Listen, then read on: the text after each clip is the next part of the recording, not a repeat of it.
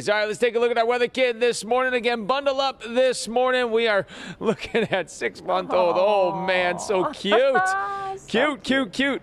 This morning, you got to bundle up this morning, though, uh, with the kids. Uh, again, temperature is mainly in the 40s across southeastern Wisconsin. So, uh, cooler start, but not a bad day expected for today. Oh, and love his name too, Maverick. So sweet. Thank you, Brian. Little Maverick, yeah. it's 625.